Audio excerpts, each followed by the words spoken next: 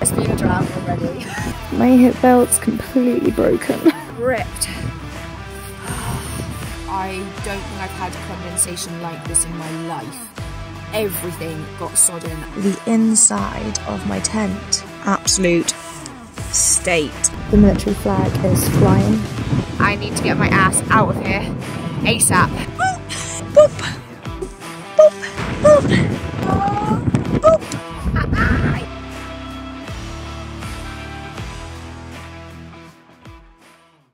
Hello, you beautiful lot. Look where I am. I'm back on Dartmoor. Yeah, she is, my little home from home. And today, well, over the next couple of days, I am going to be continuing with my tor bagging adventure.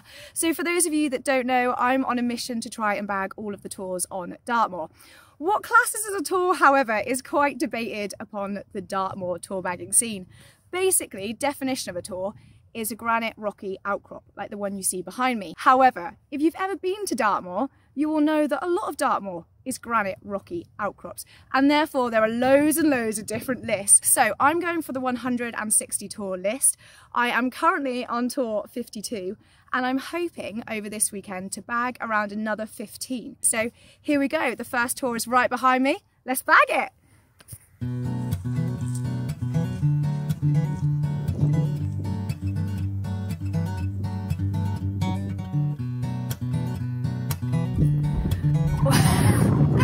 I'm almost at the top. Oh, boop.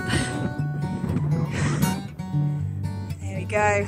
And here it is, tour number 53, Sourton Tor.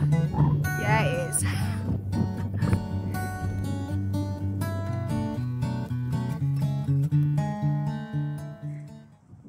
Alrighty, so just behind me there is Sourton Tor and this way is Branscombe Loaf, which is going to be my second tour of the day and tour number 54.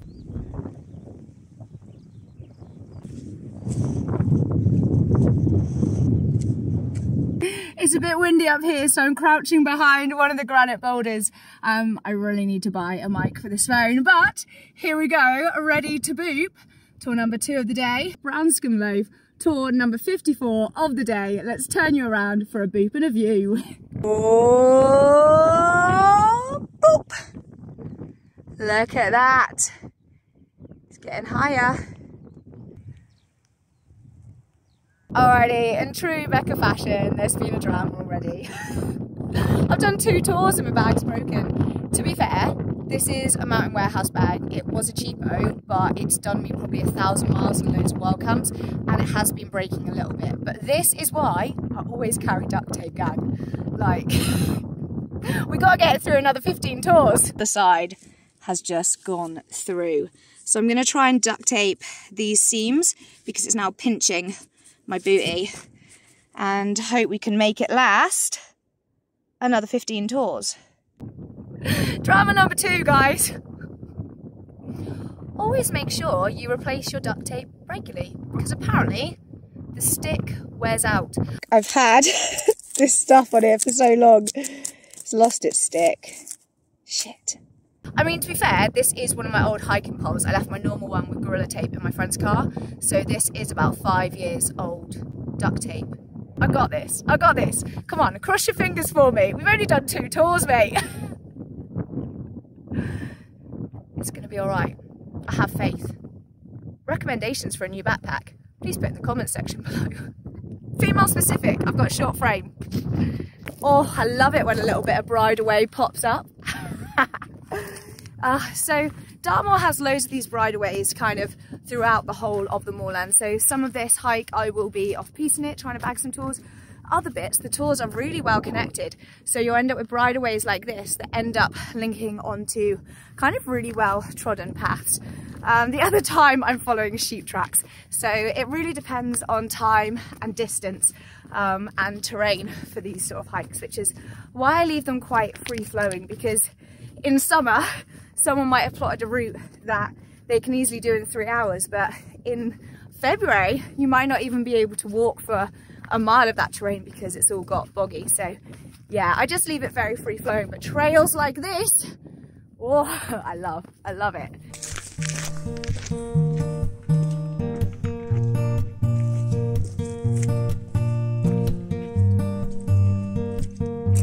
thought for a hot second that this was a really beautiful floating flower. it's a banana skin. Oh man. Alrighty, here we go, heading on up. Tour number 55, tour number three of the day, just behind me. That little one there is Gren Tor and it looks quite low down in comparison to the path I've been walking at. So this is why you really, really need to check your tours and work out what is a tour and what isn't, especially if you're doing the 160. Because if you're doing the 700, any little thing you can boot, mate. Um, but the 160 is a little bit more specific. And Gren Tor is on there. Whoa.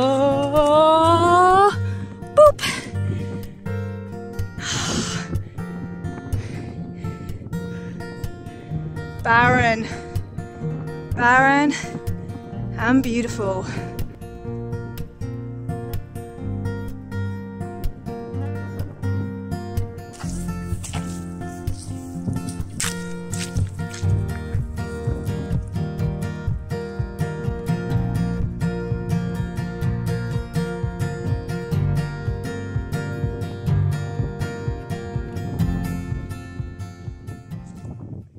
She's a windy one up here. But here we go. Tour number 56, Hunt Tor. Oh, boop. Hey. Sheep's just been watching me going, what the fuck? I know, mate. Yeah, I'd run off too. The sun has come out. So while I am at Hunt's Tor entertaining the sheep, I thought I'd have a little lunch break. So my lunch today is Vegemite wraps. I really, really love Vegemite as a hiking fuel, especially if you're a little bit of a dirty vegan like myself. Um, there's B12 in here, which is really good for you. And as you know, it's a nutrient that's really hard to get on a plant-based diet.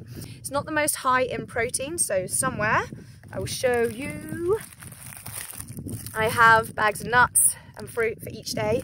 And I also eat things like Trek bars, which are around 10 grams of protein per bar as well. So yeah, this is me. Lunch stop, baby. But look at that view. There's just no one around. I love it. All you've got to do is walk a couple miles into Dartmoor and you are on your Todd. I've decided to extend the walk a little bit, go up and around the marsh. It was just looking a little bit too deep and dangerous um, and there's no signal in this area just in case anything did happen. So yeah, there's the, the marsh behind me. This bit's a bit better. Here we go. Ah, How are you, Reeds? Hey, you alright? Ah, Nice. So for those of you who have heard me talk about Invisibogs before, this is the sort of things I mean. As you probably saw in that clip, it is literally like there is a river running underground. Um, and that happens a lot up here. Sometimes you can tell where they are because they've been existing for a long time and there are reeds growing. Other times you just slip down. So when you see me doing these hikes and I do things like stick to a road or detour to get on a bridleway or just pitch for the night early, it's because I'm really, really wary of those things occurring under my feet. Um, I think a lot of national parks and areas in the UK get it anyway, um, but Dartmoor is especially well known for their invisibogs. Um, and actually on quite a sad note, you'll often come across skeletons of the wild Dartmoor ponies and things like that um, that have tragically got their foot stuck and died that way. So I don't want that to happen to me.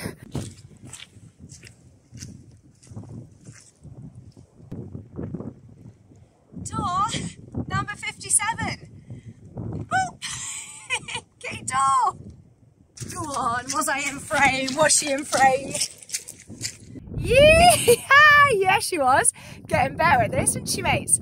Look at the view. Hang on, I'll turn you around. Here we go, round two at the top, just so you can see what I can see. Stunning. As always, check to see if there are red flags flying. Because I am now entering a new zone.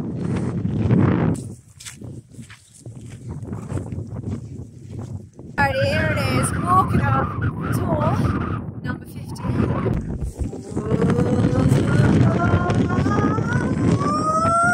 Suspense. Boop! Look Look at that.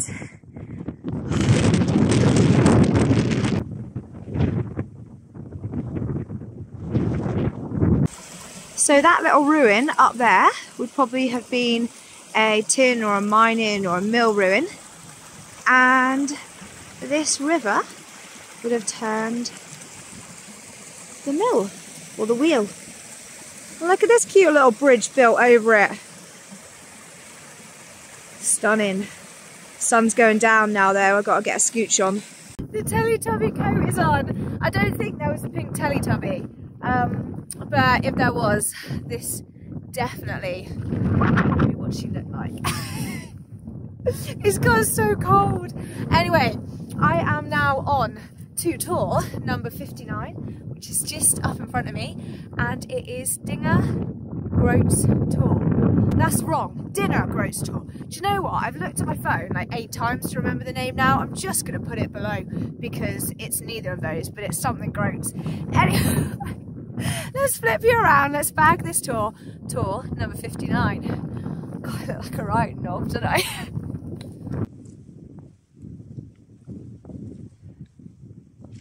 It's windy up here, but I'm on tour number 59. Let's give her a boop. boop.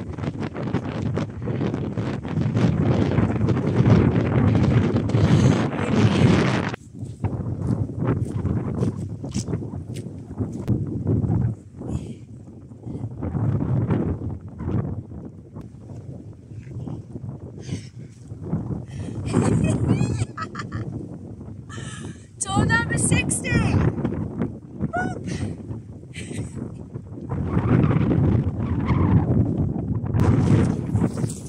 It's freaking freezing, by the way. Um, sun is about to set within an hour, I think at 5.30. I've got two more tours that I'd like to bag today. One is Sharp Tor, one is Hare Tor, but Hare Tor is in the no camp zone. So I'm going to see what the terrain's like, what Sharp Tor is like to camp on, and yeah, work out whether I risk it for a biscuit or wake up earlier tomorrow. But this, oh my gosh, this was such a beautiful tour. Like, wow. I know I'm a little bit of a geek for these rock formations, but it is a pretty one, this.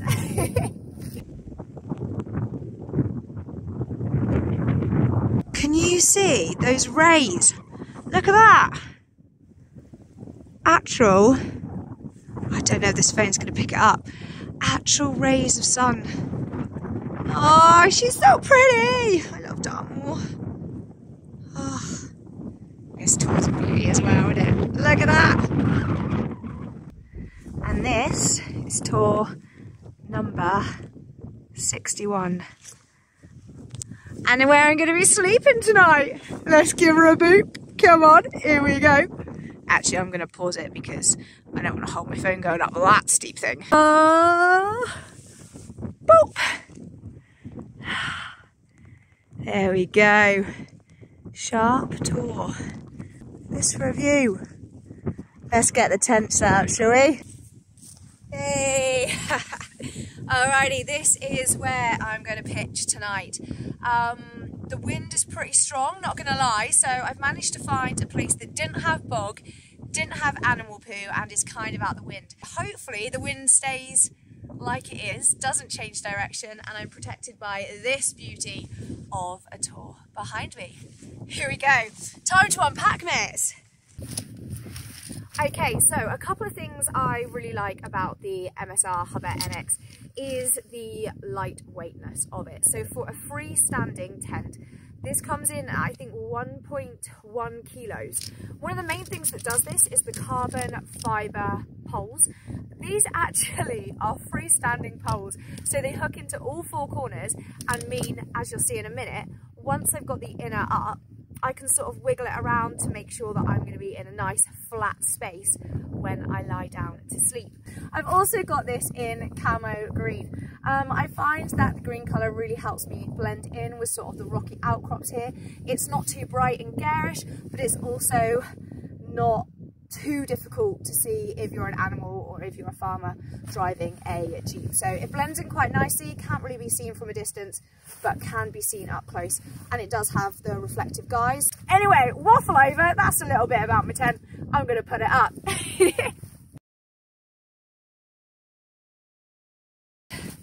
Look what I've done.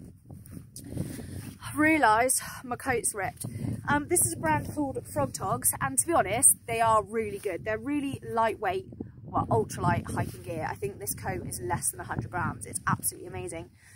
Um, the problem is, once you get a rip in it, they just keep ripping. Um, the good thing is they are recyclable, so all of this, they've designed it so you can recycle it, which is actually really amazing. Um, but it's not so amazing if there's rain tomorrow because girl's got no duct tape or sheet to seal herself up. So just all my kit's breaking today, isn't it? Oh, here we go. Let's get the bed set up anyway, and then I'm going to cook some dinner.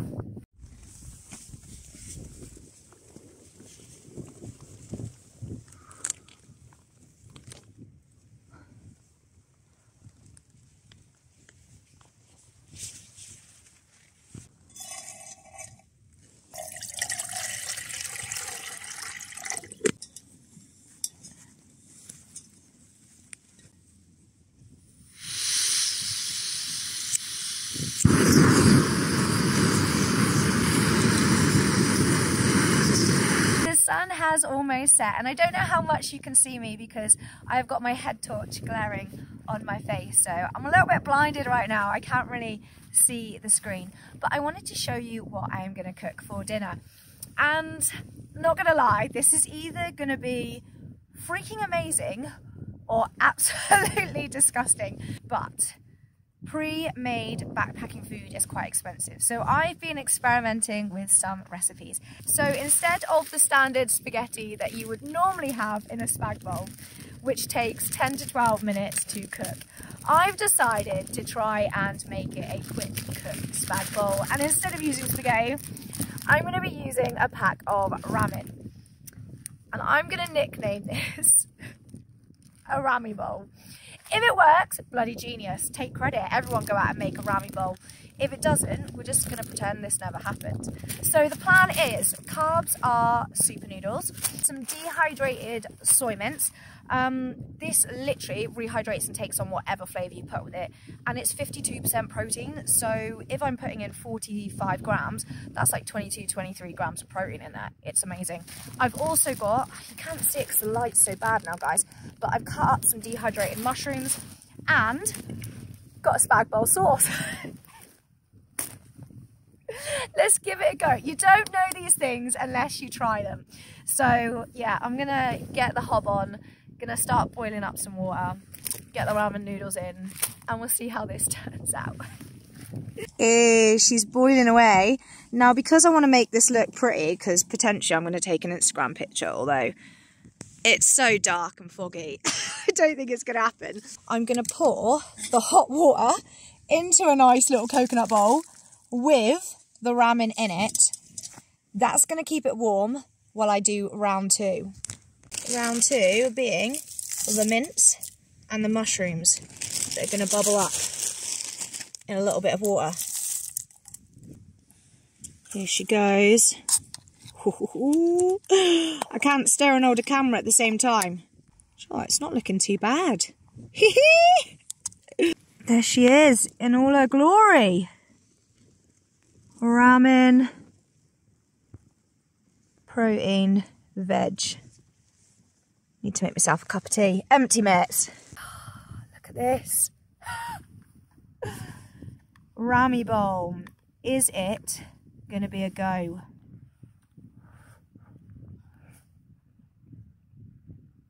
Oh my god. That tastes just like spag bowl. I'm not even joking. That's so good. Mm. It's a new recipe, guys. Mm. I'm a genius. I'm an absolute genius. There is that much moisture in the air tonight. the inside of my tent is dripping. Oh, no wonder I feel so cold. Look at it. The condensation tonight so bad. I've never had a night like this. It is just pooling. So I've taken my bin bag out of my backpack. So I always use a bin bag as a pack liner and then have a spare plaggy bag.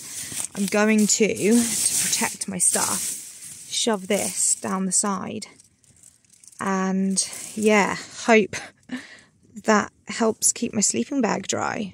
I'm trying to get the camera to focus inside the tent to have a little late night chat to you guys, but it just ain't working. There is so much humidity in the air that it's almost cloudy inside the tent as well.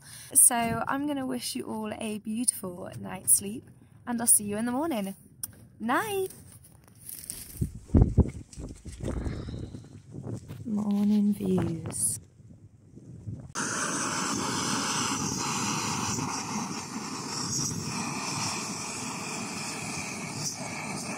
Good morning, gang.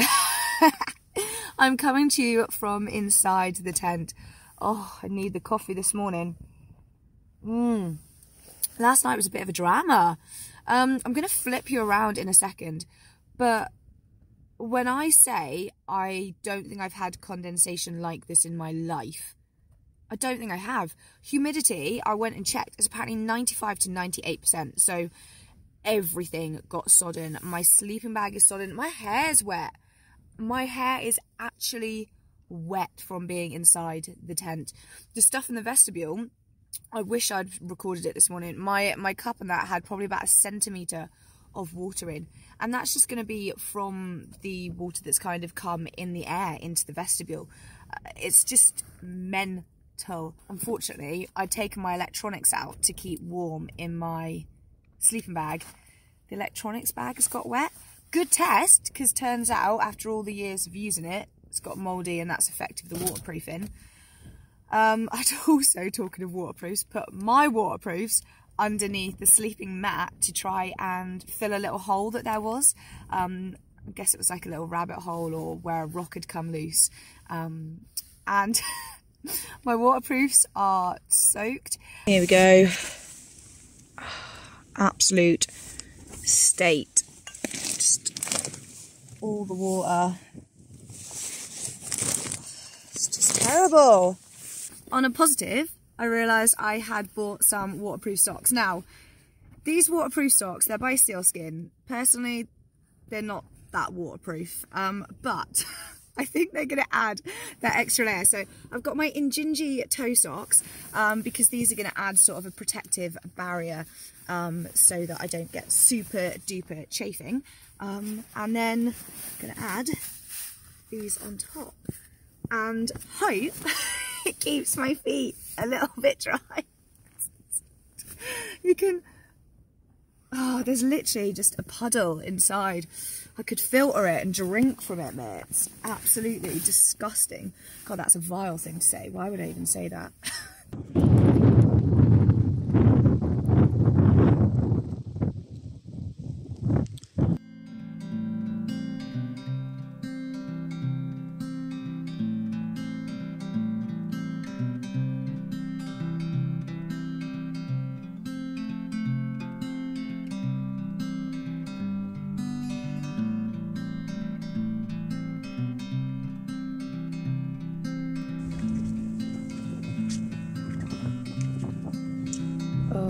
this means the military are training here. Alrighty, I am heading on to my first tour of the day, which is Hare Tor, but I don't know if you can see through the fog, there is a flag. There is a flag flying, which means I'm about to enter into a military shooting zone.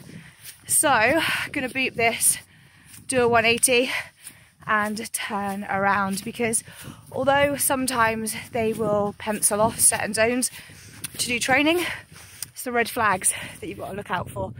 So, boop and gone, mate. I can't do the lower half of the tour bag en route.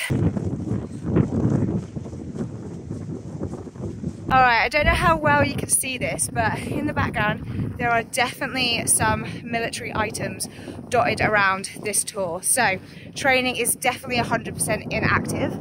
I need to get my ass out of here ASAP. Completely forgot it was a Monday today, didn't I guys? Because I'm normally up here on the weekends. Rookie error, always tell you to uh, check, make sure there's no military stuff going on.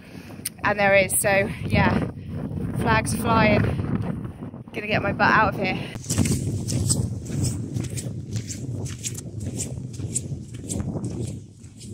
Alrighty, so this bit here is saying I'm now back in the Okehampton area, which is safe to roam.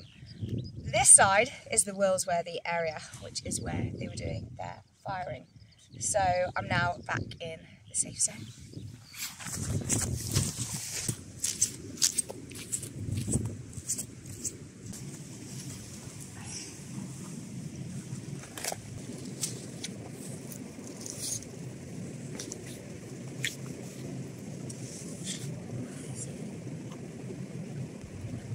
It's around 11 o'clock now and so I'm gonna stop off while the weather's fingers crossed a little bit drier just to make myself first lunch.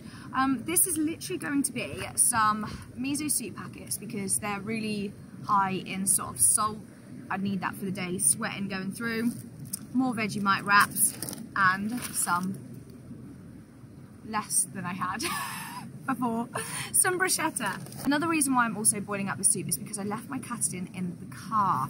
Now, I don't know how long I'd left it in the car for, and therefore whether the filtration system has been affected um, by freezing, because these filtration systems, when it freezes, it expands, um, I don't know what you call them, but basically it means the bad microbes are now able to get through because the holes are now big enough for them to be able to do so.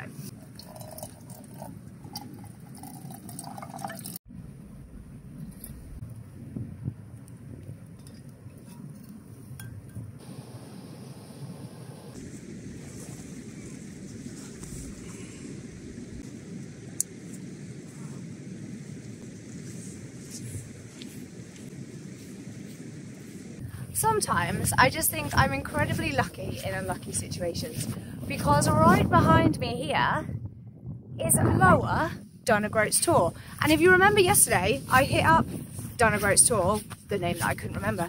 I didn't realise that there was a higher and a lower. So if the military weren't firing, here's some of the planes going overhead, and if they weren't training, I wouldn't know that lower Donaghroats Tor existed until I got home and check the list. So, lucky in unlucky situations. Look at it! Poking out through the mist. Let's go and give her a beep.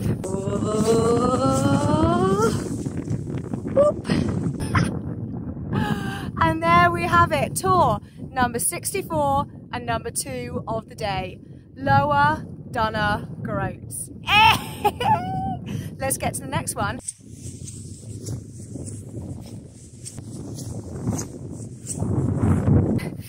Because the weather is coming in pretty bad again, I don't want to risk climbing up to the very top of this.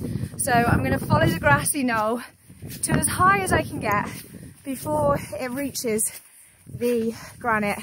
I'm going to boot there. to be honest, I made it quite far up. Right, let's turn you around. Ready for boop number 65. Oh. So this has just happened. My selfie stick tripod is broken. Could probably fix it with duct tape, but guess what? That's the third item I've needed duct tape for today and yesterday. Is any more kit gonna break or fail on Becca today? Place your bets now. Like, what have we had? We've had I'm not even going to count it. I'm not even going to count it. The rain's about to start. I don't want to damage my phone. Right, I'm off to bag another tour. I don't know how you YouTubers do it, honestly. Like, it's, just, it's just a joke at this point, isn't it?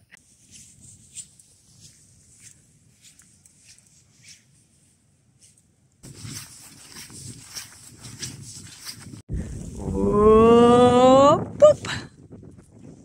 She is, tour number 66, I think.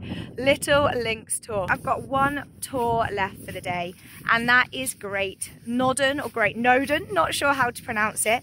I'm gonna head there now, and then I'll be joining, hopefully, back up to the bridleway that you saw me walk on near the start yesterday, back over the Sourton tors, off to the car to dry up, because she's soaked there.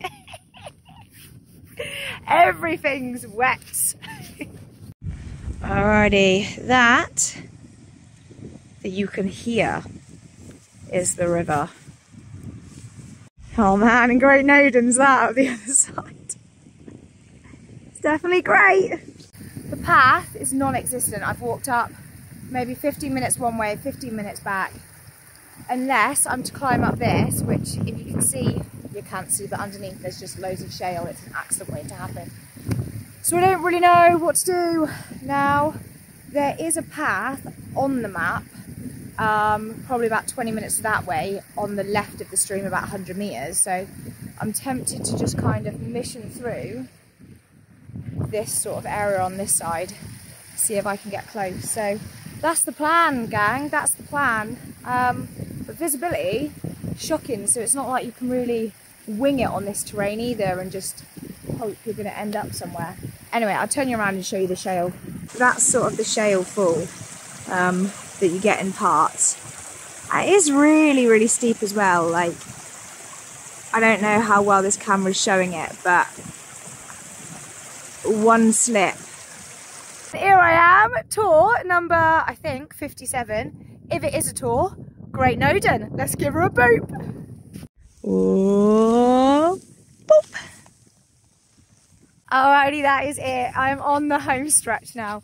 Behind me, you can't see it, it's Sourton Tor. I might as well be telling you it's Buckingham Palace and giving you a tour of the UK at this point because the views. Oh, mate, it's just been my face and up close zoom ins of granite boulders, isn't it? What a YouTube video. Like, share, and subscribe, please. Back at the car, mate, before the sunset. Yeah, she is. And the final thing to check before we go did the waterproof shoes and waterproof socks leave Becca with waterproof feet? They are almost dry. No way. Sealskinz. I take it back if the other one is dry as well. Because the socks are soaking. Oh, I mean, there's a little bit. You can see where the muddy water slipped through, but... I've got dry feet. That is it. Becca is done. I'm off to drive home with my dry feet. If you have liked this video, please do drop a little thumbs up to help the old algorithm and comment down below. And if you would like to see more of this sort of stuff, do consider subscribing and hit that little ding ding notification bell so you can see more of this in the future. And I promise I'll try and time it when the weather's a little bit better so you see more than just mist. All right, have a great one. See you again. Bye.